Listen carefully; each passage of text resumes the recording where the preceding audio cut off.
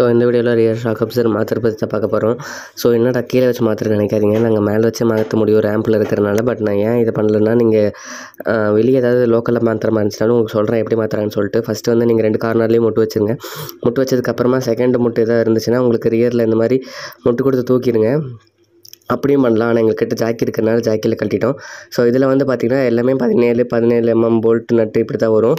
அதனால என்ன பண்ணுறீங்கன்னா நாங்கள் கன்று யூஸ் பண்ணோம் நீங்கள் வந்து ரிங்கோ இல்லை பா டீராடோ யூஸ் பண்ணி கீழே வர பதினேழு நாட்டை கழட்டிடுங்க பாட்டமில் வர்றதை. அண்ட் மேலே வரது பார்த்தீங்கனாலும் பதினேழு தான். ஒன்றுத்தில் ரிங்கில் பிடிச்சிட்டு பேக் எண்டில் அந்த சைடில் ரிமூவ் பண்ணுற மாதிரி வரும்.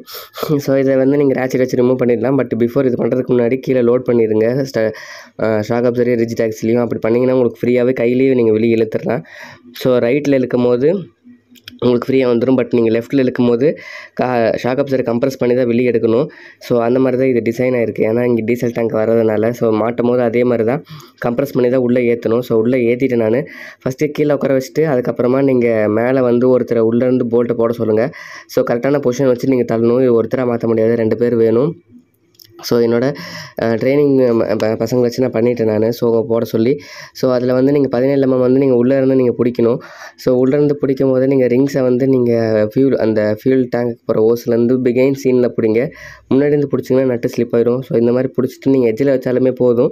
ஸோ அதுக்கப்புறமா நீங்கள் டைட் பண்ணும்போது ஆட்டோமேட்டிக்காக ஏறிடும். இதுக்கான டார்க் வந்து பார்த்தீங்கன்னா twenty to thirty newton metre தான் வரும். அதனால் நீங்கள் ரொம்ப டைட் பண்ண வேண்டாம். கொஞ்சம் மீடியம் டைட்டே போதுமானது. கண்டெல்லாம் போகாது. ஸோ அதே மாதிரி கீழேயும் நீங்கள் ஒரு மட்டத்துக்கு ஏற்ற ஏற்றினா போதும்.